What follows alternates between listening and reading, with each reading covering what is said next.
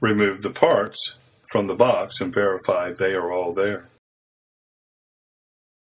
Use your shipping package as a workbench. Lay the seat pan upside down onto the shipping carton.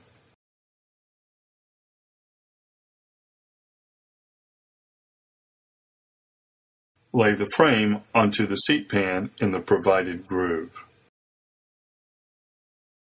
Place the plastic U-brackets over the chair frame.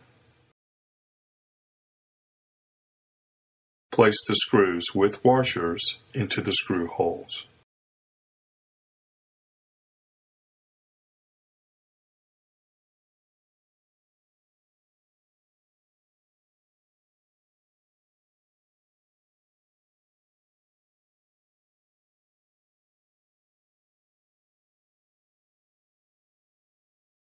Tighten screws completely.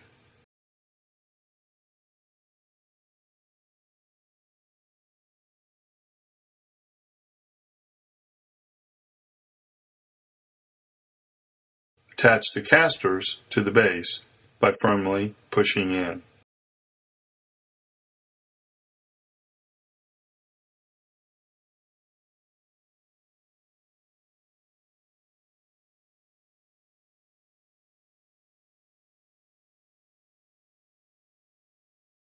You are now finished.